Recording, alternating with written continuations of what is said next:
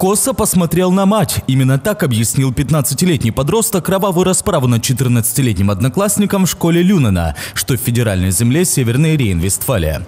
Трагедия произошла во вторник перед началом занятий, когда агрессивный школьник вместе с мамой пришел на встречу с соцработником школы. На допросе преступник рассказал, что зарезал одноклассника, поскольку тот, по его словам, несколько раз как-то не так посмотрел на его мать. По данным полиции, между убийцей и жертвой конфликты возникали довольно часто. Тем тем временем в школе, где произошло убийство, уже возобновили занятия. С учениками и учителями продолжают работать психологи. В память о погибшем школьники приносят цветы, письма и зажигают свечи перед входом в школу. Весь коллектив школы невероятно скорбит. Сейчас мы проводим в классах беседы о кровавом злодеянии, которое совершил 15-летний ученик. Мы делаем все возможное, чтобы помочь детям и учителям пережить шок и как можно скорее снова вернуться в обычные школьные будни. В среду во всех учебных заведениях Люнена была объявлена минута молчания. Кроме того, в городе звонили церковные колокола. Тем временем в Берлине задержали 16-летнего подростка, который хвастался в школе пистолетом. Прибывшая полиция выяснила, что пистолет газовый и был не заряжен. Виновнику инциденту пока запретили посещать занятия. Тысячи людей вышли на улицы городов Швейцарии, высказывались против приезда Дональда Трампа. Президент США в пятницу должен выступить с речью на Всемирном экономическом форуме в Давосе. Из-за сильного снегопада власти города запретили проводить там манифестации, тем не менее около 20 человек все же прошлись по улицам, выкрикивая антикапиталистические лозунги. Гораздо более массовая согласованная акция состоялась в Цюрихе. По оценкам полиции, около 2000 человек прошли маршем по улицам города.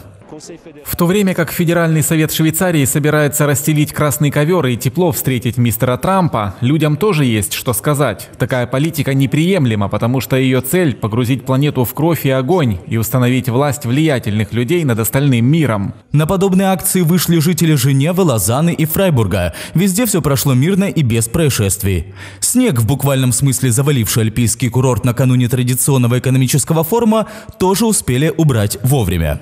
Тем временем временем в Давосе собрался мировой политический и экономический бомонд. Прозвучали первые заявления. В частности, немецкий канцлер подчеркнула, что видит будущее мира в свободе и честной конкуренции. Мы считаем, что изоляция ни к чему нас не приведет. Мы должны сотрудничать. Протекционизм – это неправильный ответ. Если мы уверены, что дела не делаются честно, мы должны искать многосторонние решения, поскольку односторонние в конечном счете только способствуют изоляции и протекционизму. Совместное будущее в разрозненном мире. Такой девиз встречи мировой элиты в этом году будут обсуждать еще два дня. Обсуждать есть что. На фоне рекордного после кризиса 2008 экономического роста устрашающе выступают глобальные геополитические вызовы. От изменения климата и кибератак до значительного расширения охваченных войной территорий. Немецкие инвесторы все чаще интересуются украинской промышленностью. По состоянию на 1 октября 2017 Германия инвестировала в экономику Украины всего миллиарды 800 миллионов долларов. И больше миллиарда из них – это инвестиции в промышленность, сообщило Министерство экономического развития Украины. Наиболее популярным направлением для немецких инвестиций является производство автозапчастей и комплектующих. В этой отрасли уже создано около 3000 рабочих мест, 2000 из которых только за последний год. Товарооборот Оборот между странами и украинский экспорт в Германию за прошлый год выросли на четверть от объемов предыдущего года. Больше всего немцы покупают украинские электрические машины, семена и плоды масличных растений, руду, древесину и изделия из металлов. Ранее сообщалось, что около 50 немецких предприятий планируют увеличить инвестиции и расширить филиалы в Эстонии. Кроме того, Германия в прошлом году вошла в тройку крупнейших инвесторов в Болгарии. Новый резонансный теракт в Афганистане. Пять человек погибли и 24 ранены в результате нападения боевиков на офис международной организации Save the Children в Джалалабаде. Смертник на заминированном авто взорвал себя возле штаб-квартиры правозащитников. После этого несколько вооруженных людей ворвались в здание и открыли огонь.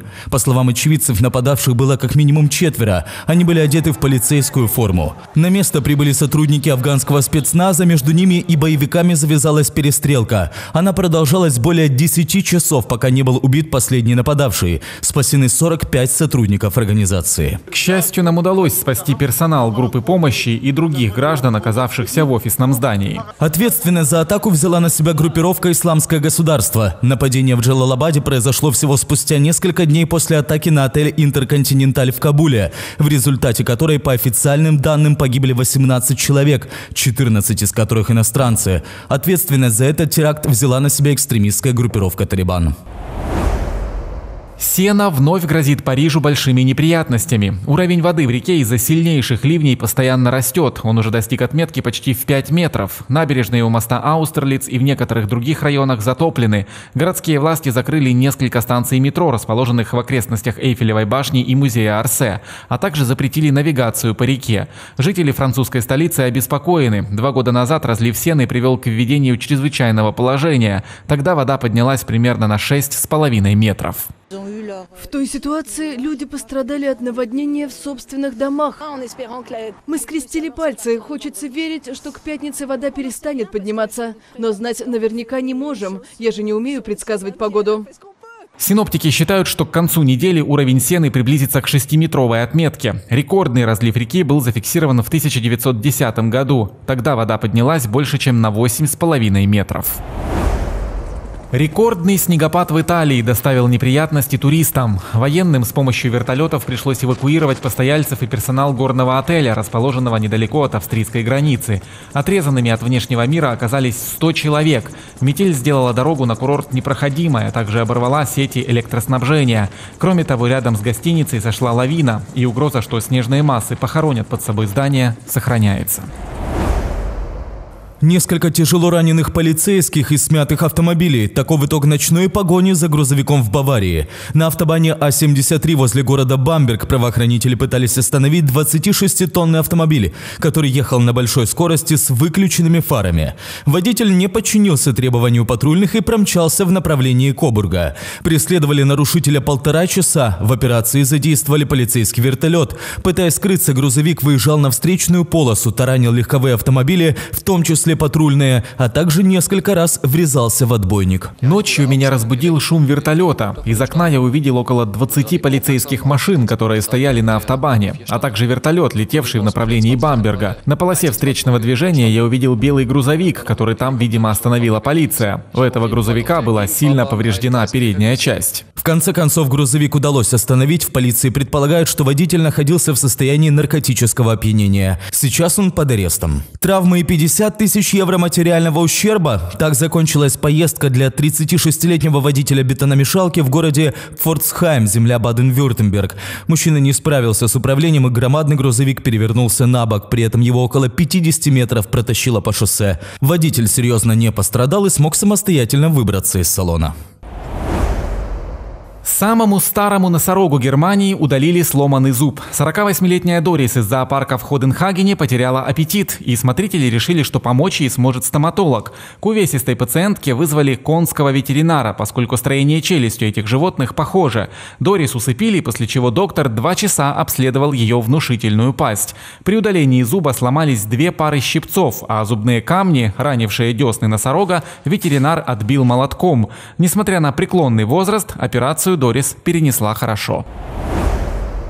Заявка на мировой рекорд. У овцы из Литвы родилось сразу 8 ягнят, тогда как обычно эти животные приносят от 1 до 3 детенышей. Небывалым приплодом порадовала своих хозяев девятилетняя овца по кличке Маргоша. 13 января Маргоша родила 8 ягнят, трех мальчиков и пятерых девочек. Половина из них темные, как папа, а половина светлые, как мама. Самые маленькие весили по полтора килограмма, остальные чуть больше. Случаи появления на свет такого большого количества отпрысков у овец крайне редки. Так, в 2012 году в Соединенных Штатах у одной матери родились сразу 5 ягнят, а в 2015 в Великобритании на свет появились 7 детенышей. Однако в книге рекордов Гиннесса записи о самом большом приплоде у этих животных отсутствуют, поэтому литовская Маргоша может войти в историю.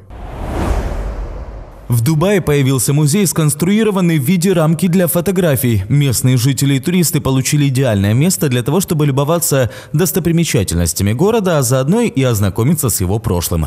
Любители насладиться видом с высоты могут подняться на 48 этаж здания, где можно не только изучить панораму мегаполиса, но и посетить выставку про историю Эмирата Дубай. По-моему, это невероятно. Отлично видно, каким стал этот город. И очень интересно окунуться в его историю. Проект задуман как часть плана по привлечению туристов в Эмират. По данным местных властей, строительство обошлось в 68 миллионов долларов. Вход в музей стоит около 13.